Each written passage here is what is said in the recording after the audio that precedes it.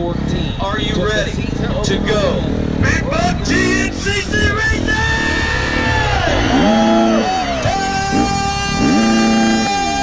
Seconds! And row number one, the XC1 throw will be off and rolling at the VP Fuels Big Buck GNCC.